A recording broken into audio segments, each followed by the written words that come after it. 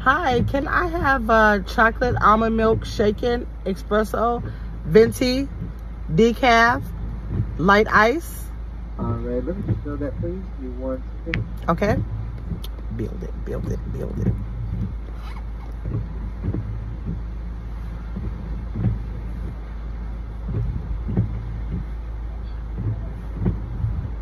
It's raining, y'all.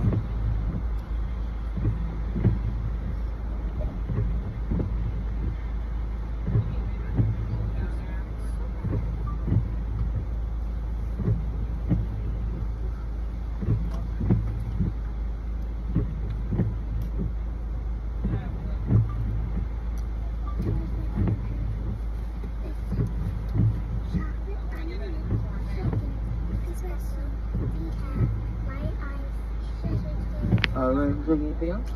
Yes, I have a buy one get one free, and I'm gonna try the caramel ribbon crunch frappuccino.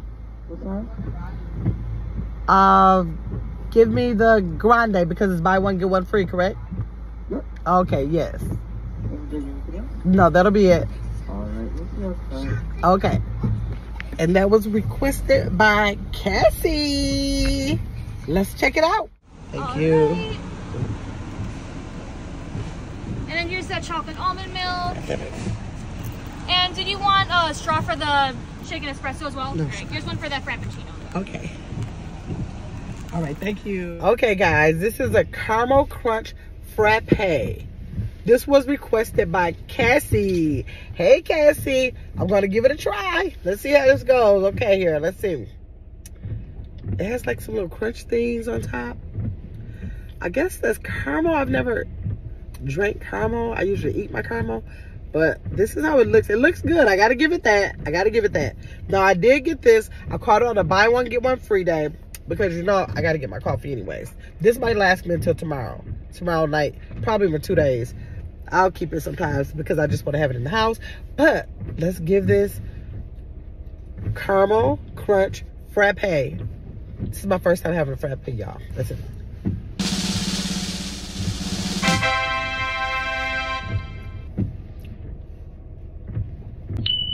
Okay, it really is crunch.